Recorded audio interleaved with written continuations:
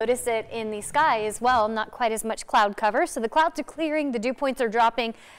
The uh, downside to that, it means the temperatures are heating up. We're definitely warmer today than where we landed yesterday. Taking a look at current temperatures, 105 in Las Vegas. Yesterday, we capped it at 99, so quite a bit warmer. 104 right now in North Las Vegas, 98 for Summerlin. We're sitting right around 104 for Boulder City. But you see the sunshine icons returning, and that's what we'll see heading into the weekend. A whole lot of sun and nothing going on on the Desert Doppler.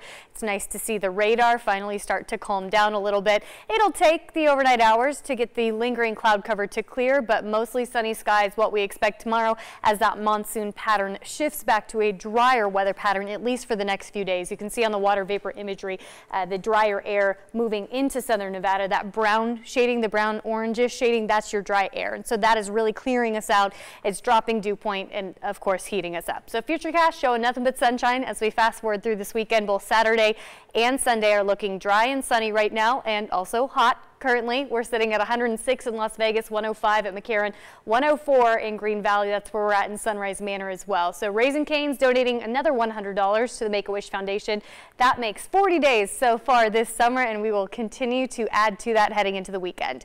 For your Friday night, mostly clear and quiet. Overnight lows will fall to the mid-80s. Tomorrow, looking at forecast highs closer to 108. So it is going to be even warmer tomorrow, and the warming trend does not stop there. We will stay dry and hot at least through the start of next week through Monday.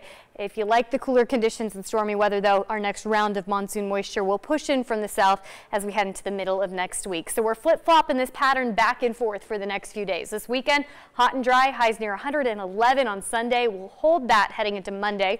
Tuesday's our transition day as the moisture starts to return. That means by Wednesday, temperatures drop, dew points increase, and our storm chances are back in the forecast.